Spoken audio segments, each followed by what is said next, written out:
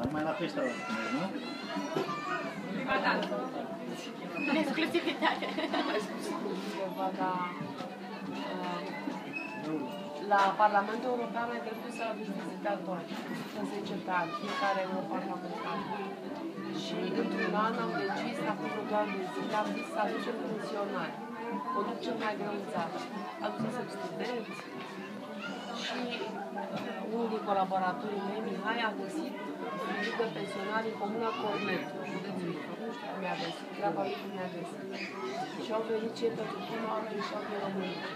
Au venit la Bruxelles și unul dintre ei avea o pneumonie veche și netratată și a făcut uh, în cele două zile de Bruxelles a făcut uh, infecție generalizată și uh, a căzut, era la tot, nu mai vorbea. L-am dus la spital și au spus moare. Are asigurare medicală, aia de călătorie, știți, nu are nicio valoare.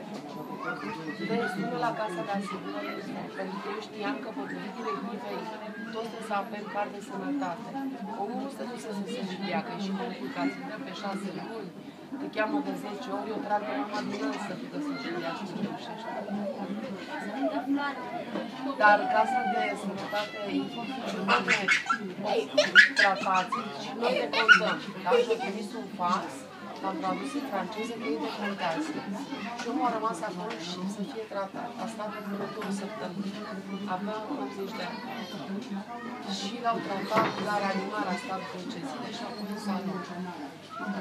Mai colaboratorul meu a trebuit să stea cu el acolo, că asta nu ca să rămână singur, fiindcă nu vorbea nicio limbă străină. Stați un pic, stați un pic. Așa, și omul, după ce și-a revenit cu tine, zice, hai te rog, ia suca asta de euro, tu te și sticocul de 10 euro ca să dau la asistent. Hai, dă mulțumesc.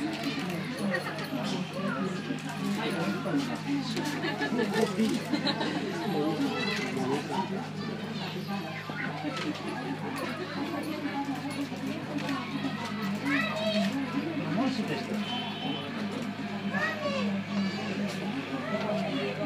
Așa, hai a spus nici vorbă, nu te las să taci bagajul să mergi pe acolo, da, afară cu spusare.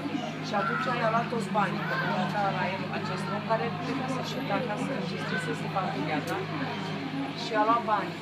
Și în final, în ultima zi, zice, da, măcar o cutie de bomboane de ciocolată să le dau. Să nu plec pe mine și cu o cutie de bomboane. Când vine sora care îi face injecția, ăsta e de cutia. Aia se înroșește la față. Lasă cutia acolo, se duce și cheamă tot etajul de sună. De doctor, toată lumea. Și parte acolo cutia cu toată lumea, dar toți roșii și genați la față. Da? Uh, și acum, acum îl aducem în România. Îl aducem în România, ce fac ăștia pe femeile? L-au tratat de tot ce aveau, nu tratat ca nimeni în România. Cred că mura pe când la, la de la Cornetu, dacă s-a întâmplat. La plecare, spitalul din Bruxelles zice, noi îl, îi asigurăm asistența medicală până la București, dar uh, cu doctor noi îl plătim cu uh, tub de oxigen și cu asistent în caz de urgență. Da? Și îl predăm acolo, unui salvări, care să aibă doctor, tub de oxigen, același lucru de asistentă, da, pentru urgență. E, cel mai greu lucru a fost să găsesc pe cineva în București să vină să-l ia în aceleași condiții. Înțelegeți? Ea plătau tot și vreau doar să ia pe ăsta așa. Și mi-au trebuit două, trei zile și n-a venit nimeni, nici urgență. Nimeni nu vrea să fie nimeni interesat. Și atunci tot o, o salvare odontologie de la Ilfov, fără nimic în ea, a venit și la luat și a promis că să